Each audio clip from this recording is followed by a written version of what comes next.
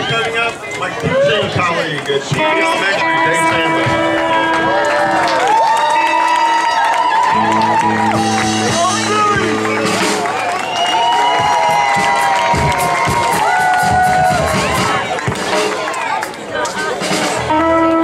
How about some Stevie Ray Vaughan for you?